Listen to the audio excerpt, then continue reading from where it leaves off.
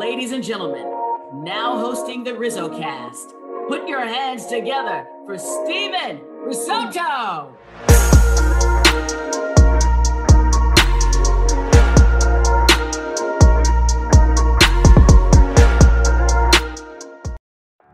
What's going on, everybody? And welcome. My name is Steven Rissotto. I cover the San Francisco Giants for SFA. I'm the host of RizzoCast, a podcast that features current and former big league players, coaches, fans, media, and others who are regarded as some of the brightest minds around the game of baseball. Today's guest is Alanna Rizzo, a longtime baseball reporter and on air personality. Alanna previously covered the Rockies as a TV reporter before joining MLB Network in 2012. In 2013, she joined the Dodgers broadcast as an on field reporter, a role that she served until 2020. And she has since rejoined MLB Network as a regular contributor to High Heat with Chris Mad Dog Russo. We discussed Shohei Ohtani. By the way, this was recorded during the winter meeting, so Shohei had not signed with the Dodgers yet. We talk Ohtani, Todd Helton's Hall of Fame chances, her career in broadcasting, being an on field reporter, being bilingual in journalism, objective on air, thoughts on podcasters and bloggers. Remember those comments in the postseason. Women in baseball, uh, her wonderful dog foundation, working with Chris Mad Dog Russo, so much more. This is episode number 159, and let's get started. Alrighty, and we are back and ready to roll with RizzoCast. And Alanna Rizzo is here. She is nice enough to hop on the podcast and join the show. Alanna, how's it going? Happy holidays and uh, and welcome. Oh, thank you. It's going well. It's uh, nice to be on the Rizzo cast with my last name is Rizzo. You got to get Mike and Anthony on here at some point too. I know those were the two that that uh, one of these days it's going to happen. I'm telling you, it's going to happen. We're going to get maybe like a panel discussion of all three of you guys, and uh, and and that would be the dream scenario with all of you. But uh, yeah, welcome to Rizzo Cast. It uh, it is named after you. um, so I uh, hope everybody out there can understand that. Uh, but before we get into anything, Alanna, I do want to mention we have to discuss the most important thing out of anything, and it is the holiday season. It's upon us, right? Uh, I've been asking people this that come on. Um, there's friends, there's family, there's food, there's gifts. Are you somebody that is a late Christmas shopper? Do you get things done early? Like, what's the timetable for you trying to basically be Santa, as we all try to do? Like what what's your timetable? Do you do you have your gifts done your gift shopping done already or is that still in progress? Let's hear it. i think i'm about 50 50 i'm a planner. My personality by nature is one two plan so i have probably 50% of the gifts done and wrapped and under the tree. I will say this though. I am much more of a thanksgiving fan than i am a christmas fan. I really love thanksgiving. I love what thanksgiving represents. Um, you know obviously christmas is a lot more commercialized. Um, i do not like christmas music at all but I do like Christmas um, and the decor and the movies and all that stuff I enjoy. Um, I'm about 50 50. The tree and the decorations go up the day after Thanksgiving, but nothing Christmas related prior to that. So um, I still have, I still have about, I'd say half, half of the gifts to go. I think you'd be pleased to know that I just came in the podcast studio here attached to the newsroom at SF State and I, I, I escaped the Mariah Carey. So oh, you'd be proud you. of me. Yeah. I am proud uh, of you. That, that's hard to do at this time of year to escape Mariah Carey. That's for sure. Yeah, definitely. Uh, and, and, speaking of the Christmas presents, there's going to be a big market team blessed with a little bit of Shohei Ohtani in their stocking this winter. And we are recording this on on the Monday of the winter meetings. And by the time this comes out, maybe he already have signed, maybe some surprising some people. Uh, but as someone who kind of follows this saga every day, uh, how unique is Shohei Ohtani's free agency compared to some of the other ones that you've seen? Because well, we've never seen a two way player yeah, like this before. I mean, he's so he's so unbelievably unique as a person yep. and a player. So his uh, you know his free agency status is that much more unique. Uh, you know, you think about Shohei Ohtani. The the caveat though is that he's not going to be able to pitch in 2024. So it's like, okay, are you signing him thinking like? All right, long term, he's going to be able to be on both sides of the ball for us, or are you trying to sign him for a one year deal with an opt out, you know, to get him just as the DH? Um, you know, Shohei Ohtani, I truly believe, and I don't know him personally. I've never spoken to him, so I just want to be very transparent with that. Is I think he wants. I, I know for a fact he wants to win. So I think whatever team he chooses to go to, um, is going to be a team where he can be a contender. And uh, obviously, he has tremendous amount of talent. Um, you know, Mike Trout has a tremendous amount of talent, but I just don't know that the Angels are ever going to be able to get to the level that Shohei wants to be. Um, you know, I had a conversation today on December 4th with Dave Roberts uh, for our show on High Heat. And uh, I asked them, you know, where are you guys at the Shohei sweepstakes? And of course, you can't talk about free agents in depth, and they're not going to, you know, they keep that stuff pretty close to the vest. But I will say this um, Dave did tell me that Mookie Betts will be their starting second baseman next year, which opens up a right field spot. So, obviously they re-signed Jason Heyward, but Jason Heyward's more of a, a role player, bench guy, um, you know, more than an everyday right fielder. So uh, whoever gets them is going to be a team, obviously, that wants to spend money. Um, it's going to be a team that needs to make a splash. I don't believe the Dodgers need to make a splash. I think the Giants, where you are, need to make a splash, especially since they lost out on Aaron Judge. I'm, i think they made the right move with Correa and that whole situation. Um, but you know, I can see I could see the Blue Jays. I could see the Dodgers. I could see the Giants. Of course, you can see the Yankees. I mean, the Yankees are always in on everybody, right? Um, just as the Dodgers are. I could still see the Cubs. So uh, there's a few teams that are, you know, everyone's kicking the tires. Those that are allowed to um, are able to, but you know, all, only the huge market teams that actually have an opportunity to win now are going to get them that's one of the best terms of the year kicking tires and and checking in and we hear all the the insider talk and it, it's a lot of fun and uh, you know, Ohtani's certainly a big story, but another big story that's coming up, and I know the network likes to touch on this and in your show, especially with High Heat, which we'll get into in just a bit. But the Hall of Fame is happening, and in uh, the Hall of Fame announcement coming up in January, and the ballots out, and um, there's so much time spent comparing and contrasting, and this time of year. I'm going to throw a name out you that's that's on the ballot because I know you're familiar with this person uh, in the club that he played for, Todd Helton. So I'm sure you you've had a lot of time to kind of think about Todd Helton's candidacy. Um, what do you think his case is for Cooperstown? And and because he's close, he's close, and a lot of people think he's going to get in this year. Yeah, I think he I think he will get in this year. And I, I again, just being fully transparent, I covered the Colorado Rockies for five seasons, so I know Todd Helton very well. And I know that the knock on him is that he played 81 games at Coors Field every single year. Well, you know what? He also played 81 games on the road. And uh, you know, his his home road splits are not that drastic. Um, to where you'd be like, there's no way that this guy is not a Hall of Famer. And here's one thing a lot of people don't think about or consider when it comes to Coors Field the amount of wear and tear on an athlete's body trying to recover when their home field is Coors Field is unbelievable. And, uh, you know, it, it, it takes a lot more of a physical toll to pitch and to play at altitude than it does in other places in the country. So that being said, the way that Todd Helton was able to keep his body ready um, and perform at a high level every single game, not just at home, but on the road, um, to me is a testament of, of his talent level. And I think Todd Helton is a Hall of Famer on any team that he would have played for, not to mention his defense never took a day off. Um, obviously, he was a very good defensive first baseman.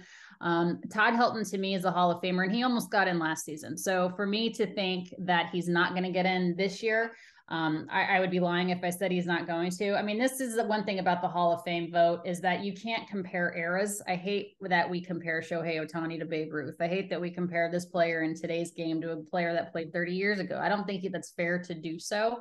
But I'm also a small room person versus a big room person. And that's why I like the Major League Baseball Hall of Fame versus like Canton. I feel like everybody gets, gets into the NFL Football Hall of Fame. Um, whereas I think baseball, there's a lot more of a strict criteria. Again, though, I think as time goes on, people's memories fade and people are, I think we live in a very forgiving society. So those perhaps with asterisks next to their name for whatever reason of off the field shenanigans perhaps get in based on merit later on. Um, but to me, to answer your question, Todd Helton is a Hall of Famer and the, we can't act like there's choir boys in there. So for anybody no, listening, look at look at Ty Cobb. Look at yeah. I mean, yeah. Let's uh yeah. It's not it's not the morality Hall of Fame. It's the baseball Hall of Fame. Yeah, no, without a doubt. And and good point about Coors Field too, because when when Dan O'Dowd came on here, he said not only does he have to play elsewhere, he has to play in West Coast ballparks that are usually at sea level or maybe sometimes below. Uh, so it's not just the you know you're used to a certain spin on a baseball, but then just how you feel physically playing away from there um, just just seems like uh, probably the same effect as someone coming into there, but it's the opposite when you play there for 81 games a year. Um, I want to get into your career just a little bit. Um, grew up in Colorado. Your your roots are certainly in that area, and take me through kind of the origin story of how you became a baseball fan, or even a sports fan for that matter. Because I don't know how big baseball was or has been in Colorado. The the Rockies came in '93. Tell me a little bit about the origin of, of Alanna Rizzo, the sports fan. Yeah, I was definitely more of a football fan growing up, no question. We didn't, as you mentioned, we didn't get the Rockies until '93. I'm dating myself, but we were, I was already a senior in high school by the time that the Rockies got there. So we had pro ball, but we didn't have Major League Baseball. So I remember the first day that the Rockies ever played. It was still at the old Mile High Stadium because Coors Field wasn't built yet. I was in my accounting class, and Mark Baronic, who was the head men's basketball coach at Sierra High School, but was also my accounting teacher, kind of like rolled the TV into the room and allowed us to watch the first game ever in Colorado Rockies history. And I remember that being a very poignant moment, you know. And but I was already on my way to, you know, to college after that. And I wasn't a big baseball fan. I just never really followed it. I was a I was and still am a big Denver Broncos fan University of Colorado football, basketball. That's where I went to school. I went to CU. Um, so baseball wasn't my passion, but sports have always been a huge part of my family. Um, I have a huge, huge, you know, family that we're all, even though we're spread all over the country and are, are very different in terms of personalities and all of that, we are all Broncos fans. So that's one thing that can kind of bring us all together, tie us in together. So, you know, I left. Um, journalism is actually my second career. When I graduated from high school, I went to the University of Colorado at Boulder and I got a degree in um, international business with a marketing emphasis. So that was my bachelor's degree. And I worked in sales and marketing in the hospitality industry, in the beverage industry. So I worked for Pepsi Cola and then I worked in, in hotels and I was just really unbelievably bored. I did that for five seasons and was very, or five seasons, five years and was very unfulfilled. Um, and then I just kind of took a chance and took a risk and, and bet on myself and went back to school. So I didn't go back to school until I was 28 um, and I got a master's in journalism and then make a very long story short, I just started from the bottom and worked my way up. There's 200 television markets, and I started in market 142, which is Wichita Falls, Texas. And you know, I covered. I was a. You, I think you guys call them MMJs now, like multi-marketing, multimedia journalists. We call them one-band bands. You know, one-woman band. Like you do everything. You're doing the job of 10 people. So uh, wrote all my own stuff, shot all my own stuff, edited all my own stuff, the whole deal. And I was in Wichita Falls, Texas for nine months. And then I went to Madison, Wisconsin, which was market 80 something, 85 or something like that. And, you know, I covered the Badgers, the Packers, the Bucks, the Brewers, um, you know, Badger hockey, uh, both the men and women's team won the, the uh, you know, the Frozen Four in the same year. And, um, it, that was just a blast. Madison's a great college town. Um, and I was there for three years and then I had an opportunity to go home and I wanted to go back to Denver. So I went back to Denver. I was a freelancer, started working for, at the time, it was Fox Sports Rocky Mountain. And then it became like Liberty Media. Then it was DirecTV. Then it was AT&T Sports. and it was Root Sports. And now I don't, I think MLB Network's taking it over. So, um, despite all the different changes in the network name, I was uh, covering the Rockies for five seasons, and that's really how I got into baseball. Is because it was the opportunity. I wasn't I wasn't trying to get a baseball job. It was just kind of like what was available to get me back to Colorado. And uh, at the time, Aaron Cook was their ace, and you know, you know anything about Aaron Cook? He's a sinker ball guy, and I was like, I don't even know what that is. I mean, I really had to. It was quite the education for me because baseball wasn't my thing. I mean, I knew the basics, of course, but I certainly didn't know the intricacies of everything baseball. And now I can't imagine my life without baseball. So it was the one thing that got me to get home, but it was another thing entirely of of what it became. So I was with the Rockies for five seasons, and then MLB Network called. Um, and you know, the opportunity to go national versus being at a regional network is incredibly appealing. I think to anybody, anybody wants to go national. So I left Colorado. I went to MLB Network in New Jersey slash New York, and I was there for two years. I was there 12 and 13, and you know, did all the different shows there. I used to host Quick Pitch and all that stuff, and then. Um, you know, and then the Dodgers started their new network in 2014, and I had really missed being at the ballpark every day because I had done that for five years, and it just became ingrained in my DNA. And um, they, pers- they, you know, they approached me, and and um, you know, it was it was intriguing to be with a network from the bottom, like from the ground up, at, from the inception of the network, and you know, and then I went I went to LA and it was the greatest um time ever. I mean, I was there for seven seasons. I covered, you know, every single year. Uh, I was there. They were NL West champions. Um, obviously, they won the World Series in 2020. Uh, they should have won it in 17, but that's for another podcast. You have a ring?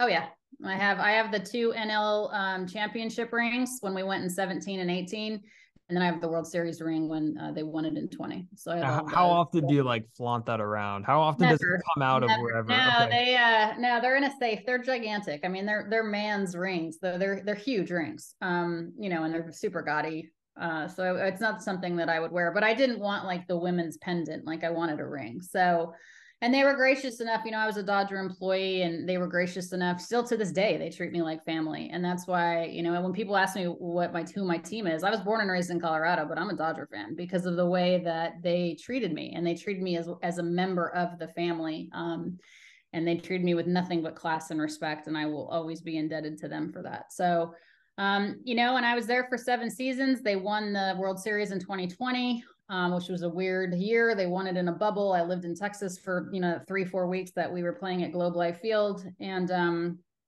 then at then we had you know I had to make a decision personally. Uh, my fiance now husband um, lives you know lives on the East Coast. I was on the West Coast, and it was just you know his job changed, so it was like so I just, you know, I had to make a decision like work life balance. And then thankfully, MLB Network uh, had an opportunity and they were gracious enough to to want me to come back. So that's a it's a very long, you know, very short story of a very long journey. But I've been doing this now about 20 years. Yeah, and I definitely think a lot of people might know you from MLB Network, but I think a lot of people love you from your work with the Dodgers. I mean, it just significant impact and and you know being a sideline reporter there um, and for those that are intrigued in broadcasting, and and many people listening have you know always say get broadcasters on, get broadcasters on, because it's it's a very interesting uh, profession, and I think for those listening, especially women uh, who who want to serve in the role, because I think it's it's a very big uh, impact role of being a sideline reporter. Um, what would be your schedule from for a game day at Dodger Stadium? Take us through kind of like when you would get there, when you would kind of start doing things to the time you would leave.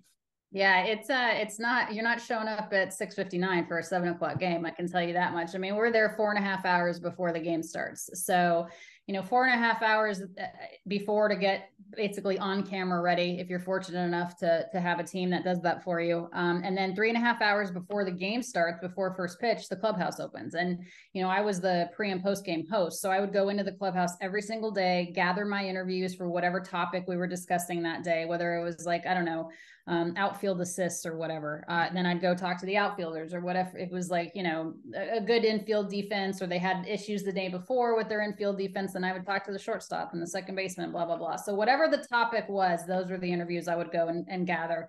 And then I would, of course, always do the Dave Roberts. Baseball is the only sport where the manager coach, whatever you want, the manager has to talk to the media twice a day, every day. So, and there's 162 games. It's a lot of time with these people, um, especially like day game after night game. Like nothing changes, and you're still trying to come up with creative and interesting things to talk about. So, gather all the interviews, you know, prepare for the game, prepare for the storylines, and then we would host an hour pregame show every single day.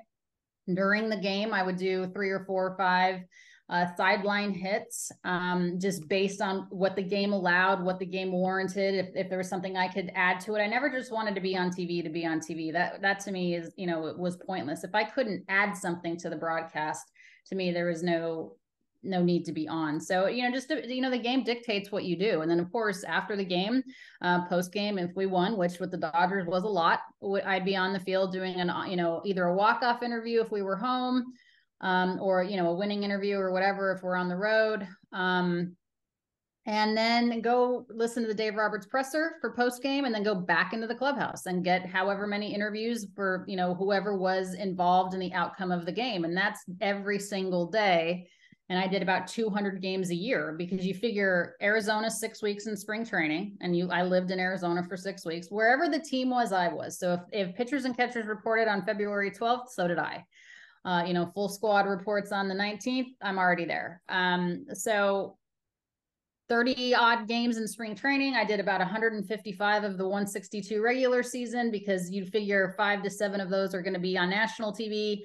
Um, and then I would do all of postseason. And with the Dodgers, thankfully, you're perennially in the postseason. So it was, you know, it's a lot of games. Like during when I was with the Dodgers, all you had to look at was the Dodger schedule and you knew where I was. Um, so, you know, it's it's it's a it's a interesting gig because it's um incredibly time consuming, but it's also a neat experience to be able to be with the team from beginning all the way to the end.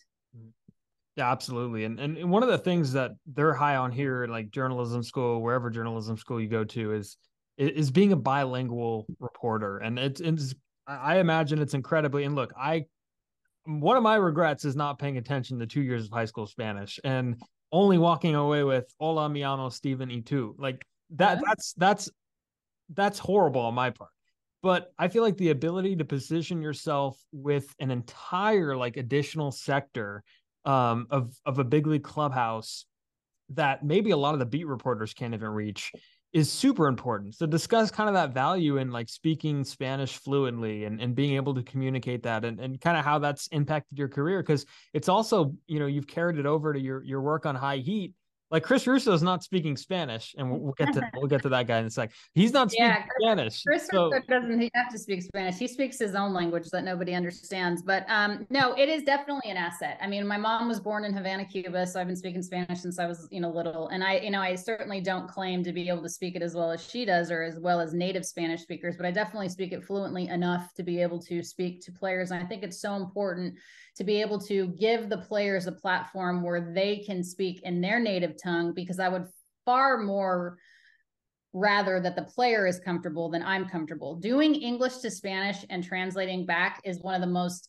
anxiety ridden things that I do. It makes me very nervous. It is not an easy task to be able to ask a question in English, then ask it in Spanish, listen to what the player is saying, translate it back to make sure you're representing what he says in the appropriate way you know, and then continue to go back and forth. Not to mention, not everything in English translates word for word in Spanish with the baseball vocabulary and colloquium and all that stuff. So it's very, it is very nerve wracking. I don't enjoy it, but I'm thankful I can do it because, again, I've been able to get a lot of interviews that perhaps other people can't, or at least, at the very least, it gives players an avenue to be able to really just talk instead of sticking to just the cliche phrases that they know or that they're comfortable with because they don't want to sound um, you know they don't want to offend anybody or sound um, like they don't know how to speak english and stuff. So i always appreciate the players that really try to speak english and learn english um, because it's difficult. I mean, I can't imagine having to do an, an interview on television in a language I don't speak. I mean, that's that's frightening. So it's definitely been an asset, and we've gotten some, you know, because there's a lot of amazing Latin and Spanish speaking players that are stars in this game, and we're missing an opportunity if we don't talk to these guys. You know, we're, I mean, think about Ronald Acuna Jr. He was the MVP in the National League. You know, if you, if you don't talk to Ronald Acuna Jr., I mean, what are you doing? That's a missed opportunity. And I know that he knows he does know some English, of course, but to be able to allow him to express himself without him having to worry or think, I think is a huge benefit to him and to the listening audience, and obviously to the Atlanta fan base. Yeah, no, hundred percent. It just opens so much more doors. And uh, going to kind of like a more journalism broad question, I, I know you're really big on objectivity and you know keeping it real and I, I think that's awesome. And and you know, I'm watching the journalism field kind of lean a different way at times, kind of away from that. And I'm very much content with learning on how to how to do things based on you know fact driven information. Uh, and, and I mean, you know, people people welcome you into your homes when you're a sideline reporter or you're on MLB Network. Um, six months a year. Well, now at the network, you know, 12 months a year. Uh, is there an added responsibility that you feel as someone that fans like really have been able to trust throughout the years? Is there like an added responsibility to kind of be real with them despite being employed by MLB Network, but you know, despite being employed by the Dodgers, is there still kind of that responsibility that you need to, you know, deliver the fact-based information that maybe the media world is going away from? I think the biggest thing is to know that it is not my job to be first, it's my job to be right And I think what happens now in today's world, especially with social media, is that everyone is trying to be the one that broke the story, or everyone wants to provide the, the scoop of the story. And that's really dangerous. I think there's a, there's definitely a place for social media, and I think it can be a huge asset. But there's also a huge danger to social media too. And um, you know, I think it's important, especially as a as a reporter for a team, that people see us as the conduit to the team. We are the connection between the fan and the player or the fan and the organization. So there is a responsibility there to make sure that we're providing accurate and truthful information. It's not our responsibility to sugarcoat stuff. We still have to be objective or else our credibility is thrown out of the window, you know? But it is not our job to bury the team. I mean, you can be objective and you can be critical, but you can still be professional about how you go about it. And what frustrates me is that again it's it's you know as time has gone on the storytelling and the writing and the fact gathering and the fact checking has gone by the wayside to bring in people that are providing just clicks or clickbait or you know let's just um you know get this out there quickly and we'll we'll apologize later. You know we'll ask for we'll beg for forgiveness versus asking for permission. And i think that's a really dangerous way to go about things. And i think it's important because it once you ruin a, a relationship with a player because of you burn that player or he or she trusted you and you don't take that responsibility seriously good luck ever getting that player or any other player uh, again. So there is a responsibility to do your job, be professional, understand that they have a job to do as well, but your reputation will precede you. I mean, you know, before I got to LA, people already knew who I was because of the work I had done. And, you know, baseball's a very small world, very small world. Um, so your, your reputation precedes you. So it, it, I'll use a Jim, an old Jim Tracy line when I, when he was the manager of the Dodgers, it would, or the, uh, well, he was the manager of the Dodgers, but also manager of the Rockies too. It would behoove you um, to to make sure you're doing your your homework and that you um, and if you're if you're if you're not willing to say something in front of a player's face, you better not say it on social media or write about it in a blog or put it in an article or say it on TV because you're going to have to walk right back in there the next day and face that player. Uh, no, 100%. And, and just to shout out the columnists in the the San Francisco Bay Area, like we don't see them a lot, and when they write something, like it, it it's a few weeks until we see them again, and it's kind of like you know you should be able to write something and then show your face the next day and you know I mean, there's people in your market that do a tremendous job. Susan slusser does a tremendous job yeah. you know um there you know there's so many people in your market that do um really really great work. And um, again, it, it takes a long time to build a good reputation. It takes seconds for it to go away. So, you know, keep keep that in mind too. And, and Twitter can be or Twitter, social media, Instagram, TikTok, whatever the heck you guys are on now. Um, you know, it again, it can be an asset, but it can also it can also hurt you quickly.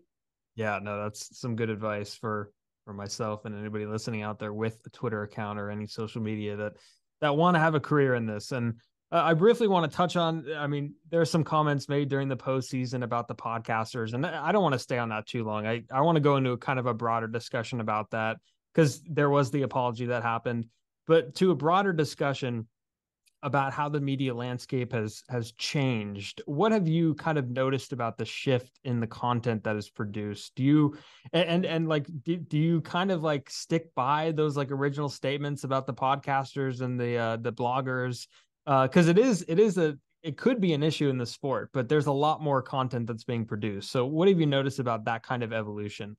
I think my biggest frustration is that I do feel that there are people, I'm not saying that this was this person, but there are people in our space that are there to create drama. They're there to get the clickbait. Or, you know, they're they're they're more of the writers of the headline versus what the story is actually about. And you know, as a and I it, it was coming from a, I was incorrect in my statement, and I that's why I apologized to him personally, and then I went on air and I apologized because I owed him that. Um, but I think what I was frustrated about is that as a as a reporter for a team, you're there every single day. You know the ins and outs of this team. You know if you know, I would know, I knew when guys, what time they did their crossword puzzles. I knew what time they worked out. I knew what time they didn't want to be bothered. I knew exactly what they ate and when they did. I could, I swear to you on my, on my dog's life, I could be on the top of the dugout stairs outside onto the field and I could see guys coming from the clubhouse. And just by this much of their shin and their shoe, I knew who it was walking up. That's just how like how ridiculous it is how much time you spend with these people. So my frustration as a beat reporter um, or as a team reporter, I should say, because I'm not a I'm not a uh, you know a written journalist, um, is that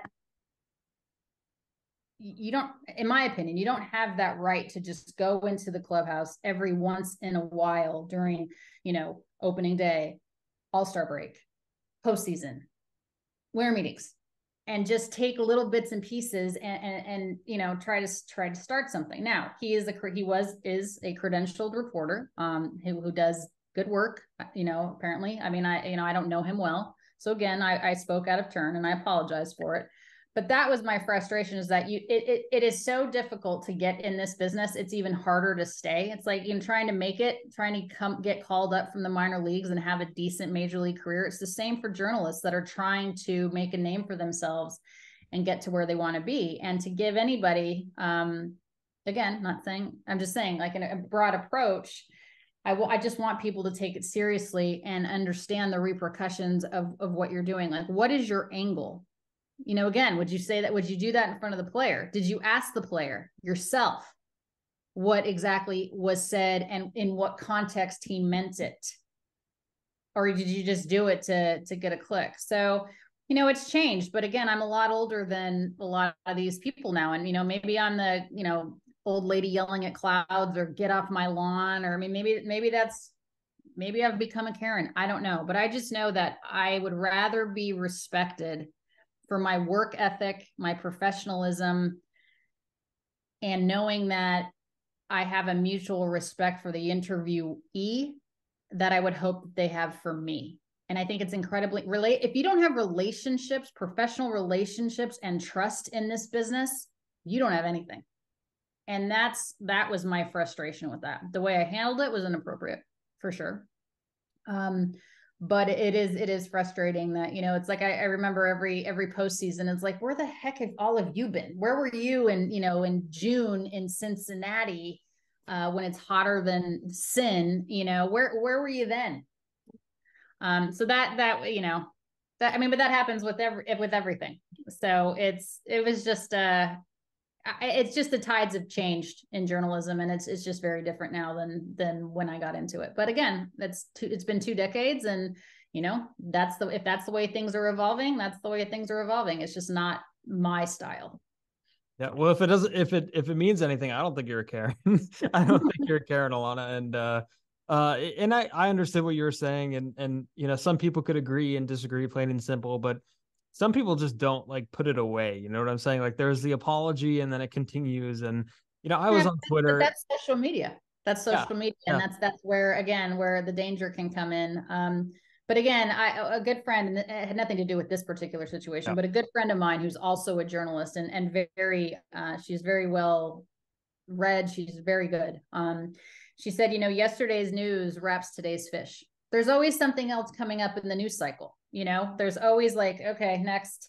And that's just the world that we live in. And i was inc- i was very embarrassed by my actions. And you know i, I never wanted to like it, it came off so wrong. So it was not hard for me to apologize. Um but i do stand by like I, I do think it is important you know to do a good job and to present yourself in a professional manner and to you know really think about what it is that you're putting out in the world because you are you know fans or people that are reading you expect it to be correct you know? So um there is a responsibility that comes along with that. Yeah and and do you do you feel like you do well? Because i mean it does happen from time to time where you know you'll you'll log on to twitter and you, you'll see some some messages about your gender. You'll see some messages about your personal life. You'll see some messages about the way you do your job and your looks. And i mean when that stuff happens is it kind of like the i'm not going to look at it or do you find yourself looking at it and getting angry by it or is it just come with the territory like you mentioned i think it's just as you get older like you just don't care anymore i mean right i mean like i'm very i'm probably could be your mother. I mean, honestly, like I could be your mom. Um, so don't I've, say that. Don't do that to yourself. I, no, I'm serious. It's like I'm, I'm not embarrassed, but I don't care. Like the okay. point is, I've been in this industry for 20 years. I, I didn't even get into it until I was 28. So, I mean, how old are you? You're 21. in college, right? Okay, 21. exactly. So I'm 27 years older than you. The point is, like you you realize what's important in your life and what matters in your life, and you realize that I know my integrity. I know my character. I know who I am. It's very easy to be a keyboard warrior and sit behind a keyboard and say whatever the heck you want to a person or about a person without ever having to show your face, own up to what you said. You know, it's this is again, this is the world of social media that we're in that people think they can say whatever the heck they want to say. And um, I know that I do good work. And I know that the players and my colleagues, more importantly, uh, respect me and respect the work that I do. Have I made mistakes? Of course. Of course. In a 20 year career um, on live television, you're bound to say some stupid stuff. Um, but I think by and large, the overall body of work and the overall resume supersedes some of the dumb stuff that I've done. And I've done some dumb stuff. I mean, we all have, right? Um, I just caution you guys, like, you know, folks your age, kids your age, students your age, of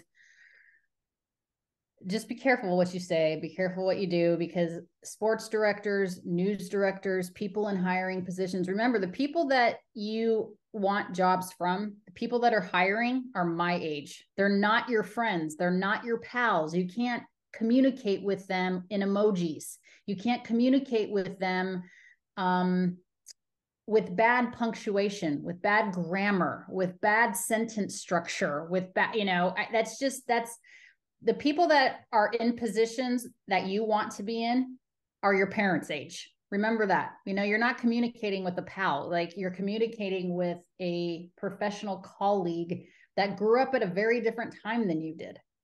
So keep that in mind. Always be professional over everything.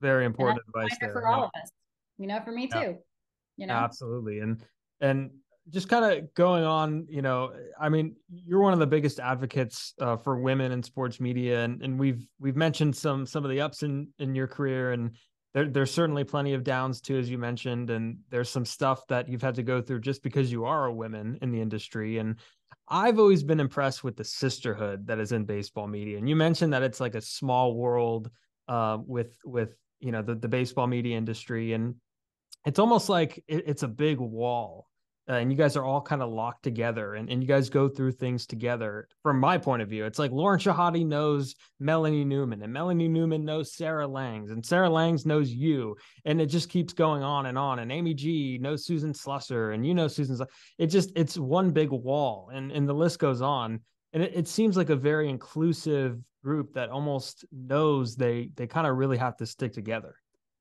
yeah i i could not be more grateful for the group of women in my world that uh, all do what i do. In fact uh, amy g is one of my closest friends and we are we are on a text thread uh, with seven there's seven of us uh, sideline reporters. It's amy g of course with the giants myself formerly with the dodgers now with i guess with everybody. Um, julia morales who covers the astros jenny cavnar who does a great job with the rockies sophia minnaert of the brewers um, Jody Jackson of the Diamondbacks. Am I missing anybody, or is that is that all of us? Jenny, Sophia, Amy, Alanna.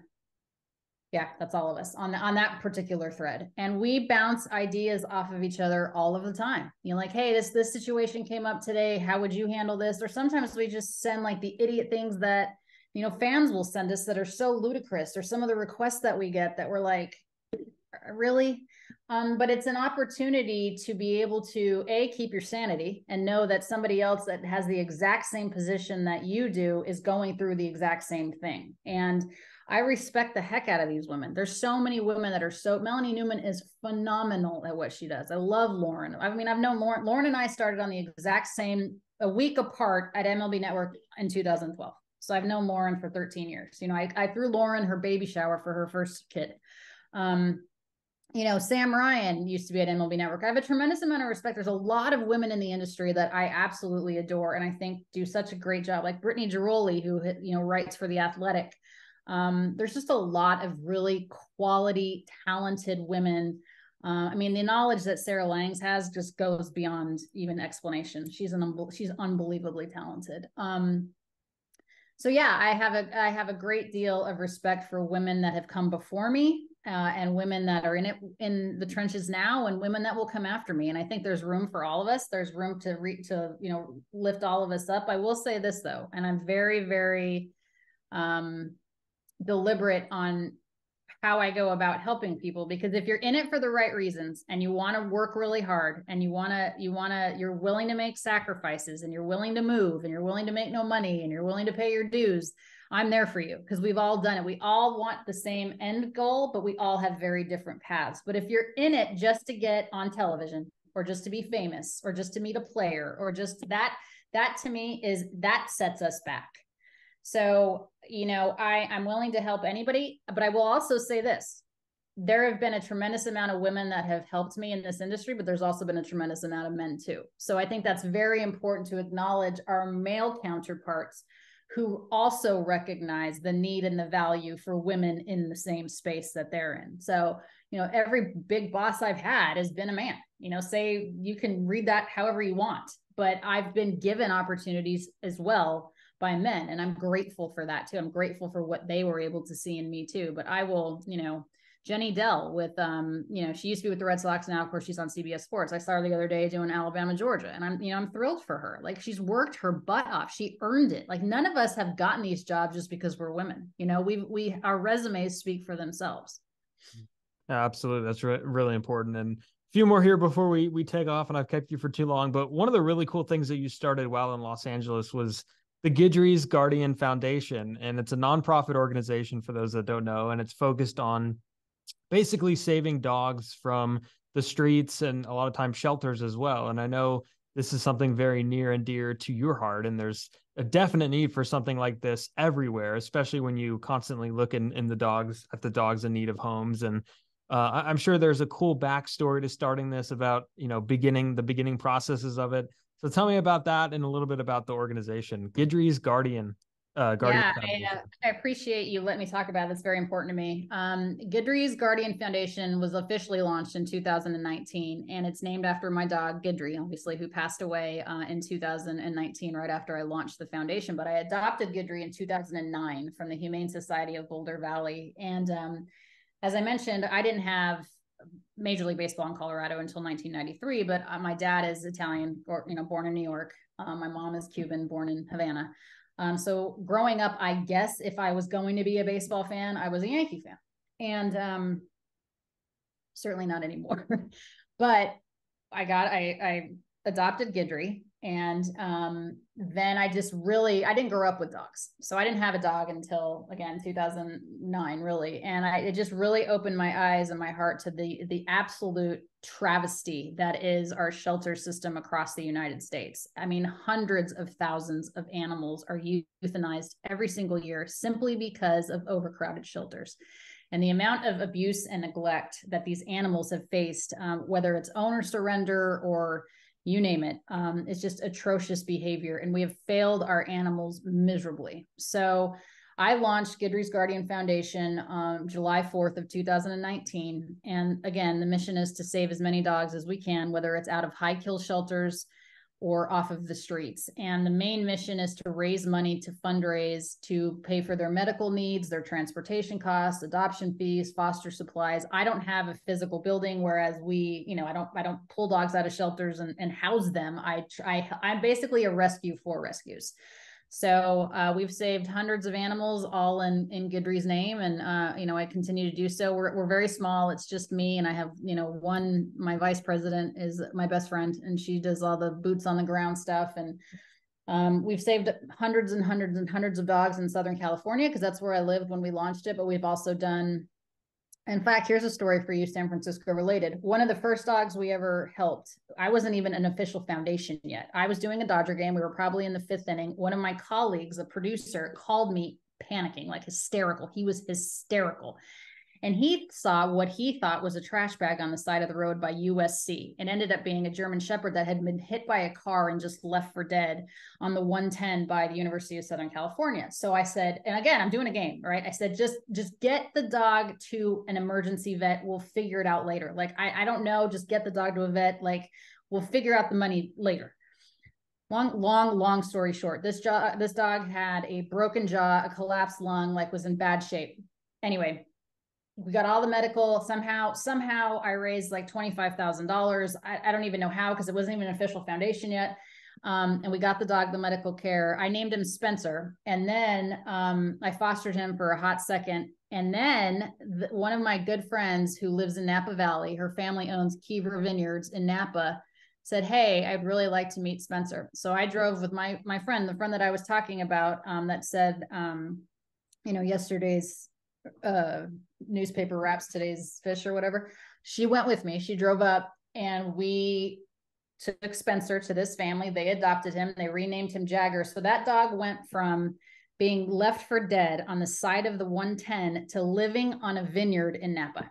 Wow. And he's the he's the Napa like dog. And then he goes home with them at night. So it's those are the types of things that we do. It's 100% donation based. So we don't have a corporate sponsor or anything like that. So every cent that we raise goes to helping dogs. I don't take a salary from it. It's not, you know, it's a hundred percent nonprofit. Like I don't get paid. Nobody, you know, um, but it's all in Guidry's name because it's so important to adopt and rescue and foster because these innocent animals are getting literally murdered just because of no space. So it's it's very important to me. That's really incredible. That's some good stuff, and I think uh, you're you're making a lot of families you know happy and, and you're saving a lot of dogs lives. So that's really awesome. And what's next for the nonprofit? Is there anything any events coming up? the biggest thing yeah we actually have um, in california i'm, I'm flying back to los angeles. Uh, we have a scorekeeping 101 event. Um, it's on january 6th at dodger stadium. So i'm sure giants fans are super thrilled about that but you are welcome giants fans um, to come and learn how to keep score. I did it in 2020 unfortunately the day that kobe died. Um, and it was at the time it was just for women because i think sometimes women get intimidated you know they want to learn and they want to be active and you know they get a little bit of intimidated um, by their male colleagues or counterparts. But now this one's open to anybody all ages to learn how to score a baseball game. And every single cent goes to the foundation. Um, so you can still there's plenty of time to register. You get free lunch a meet and greet photo opportunities. Um, you know it's just a fun day and you know i'm hoping to raise $5000 for the foundation and uh, you know, and go from there. So that's on January 6th. You can check it out on my Instagram page, which is at Alanna Rizzo and also at Guidry's Guardian. Very awesome. Good stuff. And final thing, real quick, I want to ask about Alanna Rizzo, the current era of Alanna Rizzo in baseball. And uh, you, you moved east. You're now a contributor on MLB Network's High Heat. And I think it was a very interesting surprise for everybody to see you paired with uh, Christopher Mad Dog Russo. Uh, and and I have a theory about this. My theory, and I don't know if you could confirm or deny, but my theory is that he started running out of people and organizations that he hadn't pissed off yet. Okay? and you, you do not you do not have to confirm or deny this. Maybe when we stop recording, uh, and they needed a good cop in in the room here. All seriousness, though, legendary figure. He could be some people's cup of tea. He could not be other people's cup of tea.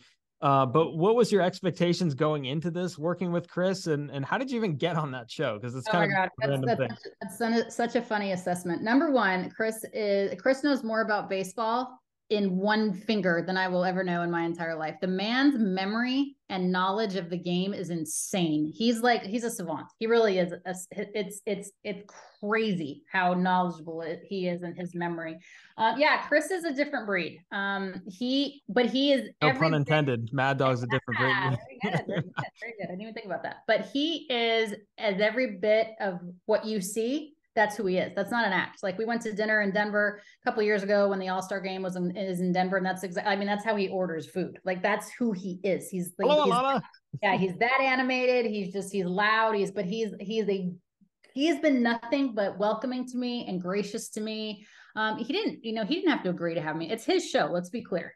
Um, he didn't have to agree to have me on that show, and he did. They were going in a different direction. They wanted somebody that was more TV savvy, um, as far as you know, kind of directing traffic and being able to get us in and out of break. And honestly, yes, I do know the current player. I do have relationships with the current player. I mean, Chris, like sometimes he's still stuck with the '77 Yankees, you know. So he he brings a very historic perspective, and I bring more of a you know, an active perspective. And I do, you know, I have relationships with these guys because I've seen them in the field. So it's like they they can relate to me. They they, you know, and yeah, Chris is he's brutally honest and he'll, you know, so yeah, there's there's an element of that where they're like, well, we know Alanna can get guys on. Um, so I think we provide a, a good balance for one another. Um, having a a debate with him is pointless because he can he can see both sides of it and he knows everything about everything. So I just try to bring a, a softer, more current approach, more of a humanizing approach that these guys are players, but they're people first. And um, you know, I think it's a I think it's a good balance. I mean, it's yeah, I mean, we may not be everyone's cup of tea. He may not be. A lot of people don't like, you know, that I'm on the show. They want Bruce Shine back, and I get that. Um, but it's been three years of us together and, and who knows you know if if it moves forward i've loved every second of it it's it was yeah i mean when they approached me i was like huh you know, I was thinking more like maybe intentional talk or something because, you know, I just kind of flow with Kevin more. Um, but you know, it's been it's been an interesting dynamic, but I'm super grateful to Chris. I'm super grateful to the network. And uh yeah, that's it's funny that you say that. But I I do um A, I can speak Spanish. Mm-hmm. Yeah. I can barely speak English. Um, I can get the uh players' names right and um i've been listening to him saying yamamoto and i'm just like it's it, yoshinobu well, yeah yeah that and uh like he keeps calling carlos rodon rendon. But yes. we you know we have we, i give him i give him like tests and stuff so no he's a great guy. I love him. Um i like he how is, he goes uh the outfielder from seattle. It's yeah. Like... he's uh he's not in the radio hall of fame for nothing i mean the man is a legend he's an icon he's been doing you know he was he was the radio talking head way before everybody else was yeah. so um he has a long long long resume and he's one of a kind and he's earned every bit of the success that he has and did you pay joey votto under the table to yell at him Joey Joey came to me for that. Joey ah. reached out to me probably two or three weeks before that happened. He's like, I want to make sure because normally one of us will just do the interview. It's very rare that we tag team because of the delay. I'm in Massachusetts, Chris is in Connecticut, you know, Joey was in Cincinnati. Uh, so Joey was like, "Hey, I want to make sure you're doing the interview because when you ask me questions, I'm gonna just I'm gonna be polite. I'm gonna ask the question, blah blah blah." And then um, when Chris does this, I'm gonna rip him a new one. But but Joey Votto loves Chris, loves him. So I knew about that weeks going into it. And uh, so that was a lot of fun. Joey Votto is one of my favorite humans. He's I always say he's a two nation treasure. I love the guy. Um, so yeah, I knew about that, but that was that was a trip. I was like, oh boy, here we go. I didn't know what Joey was gonna say, but I knew he was gonna act crazy. And did you really expect Chris to retire? Did you really expect? Did you expect to go and like, oh, I'm the new host of High Heat. Let's do this no i oh. knew i knew i knew that chris was not and then he tried to claim he was just saying it for radio not tv but i tell you what we weren't originally going to go to the world series. But because of all the stuff that he said about arizona that he would quit on the spot retire on the spot blah blah blah if they you know if they uh won blah blah blah that's why we got to go to the world series. Because he net the network wanted um him to have to face the diamondbacks. And the diamondbacks could not have been more gracious. They were such good sports. They played along. Like they were awesome. So to Derrick Hall and Torey Lovullo and the whole Diamondbacks organization, they did an amazing job like handling it and and playing along and having fun and it was it was cool. Yeah, definitely really cool. Well, Alanna, I kept you for way too long and and I but I really appreciate the time. This was awesome. Uh and and it was cool listening to uh, your journey and I think I'm going to take a lot of out of it. I think other people are going to take a lot out of it and um it was it was definitely a pleasure to have you on RizzoCast. So thanks, yes, for, thanks for coming on. I appreciate it. It's my pleasure. Keep me posted and best of luck in your broadcasting endeavors. Thank you. Oh, God, I almost had the Christopher Russo uh mixing up my words here. Thank you, Alanna. Appreciate it. And everybody could go ahead and, and follow um, Alanna on social media. Do you want to plug yourself and where you're at? Yeah, no, it's it's pretty easy. It's at Alanna Rizzo, A L A N N A R I Z Z O. So one uh, one L, two N's, three A's R I Z Z O. And then the foundation, of course, which was far more important than anything I've done, is um, at Guidry's Guardian. So G U I D R Y S Guardian. Now I'm gonna have to look back at my emails to see if I put two N's. So I think I did. I think probably I wouldn't wouldn't, have answered. I wouldn't have responded if you didn't. Exactly. Uh, yeah, don't miss those two N's. They're capitalized on the Twitter profile, so don't miss them. Uh, and everybody can follow the podcast on Twitter and Instagram at RizzoCast, uh, Spotify, Apple Podcast, wherever you find your podcast, and more stuff to come. A lot more broadcasting stuff to come. Uh, the previous episodes were with uh, the Richmond Flying Squirrels play-by-play guy, and also the Sacramento Rivercats play-by-play guy. So a lot of broadcasting stuff. Everybody kind of asked for it. They're like, get more broadcasters on, so that's where we're doing it. And uh, yeah, we will see you next time with more stuff. And Merry Christmas and Happy Holidays if I don't see you until then.